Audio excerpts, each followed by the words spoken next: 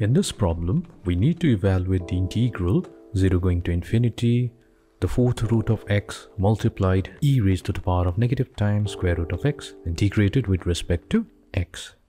Now, to evaluate this particular integral, we are going to rewrite it as integral 0 going to infinity x raised to the power of 1 fourth times e raised to the power of negative square root of x dx. Let this be equation number 1.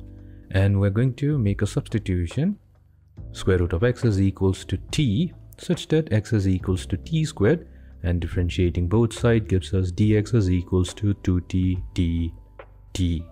Now, we also need to change the limit. So when x approaches 0, t is going to approach 0 as well as when x approaches infinity, t is also going to approach infinity.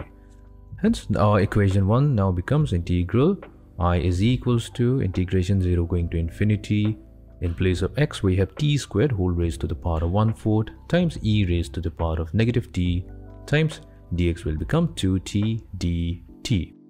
2 times integration 0 to infinity t raised to the power of half times t times e raised to the power of negative t dt which gives us 2 times integration 0 to infinity t raised to the power of 3 over 2 times e raised to the power of negative t dt t 3 over 2 can be also written as t raised to the power of 5 over 2 minus 1.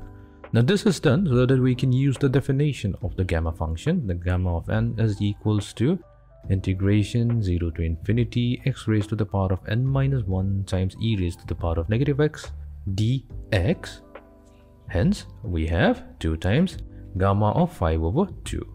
Now we need to find out the value of gamma of 5 over 2. For that, we can rewrite gamma of 5 over 2 as gamma of 3 over 2 plus 1 and use the fact that gamma of n plus 1 is equals to n times gamma n. So we have 2 times 3 over 2 times gamma of 3 over 2. So the 2 and 2 gets factored out, leaving us with 3 times gamma of 3 over 2. So gamma of 3 over 2 can be written as gamma of half plus 1 such that we get 3 times half into gamma of half. And we know that the value of gamma of half is square root of pi. So that finally gives us 3 over 2 times square root of pi.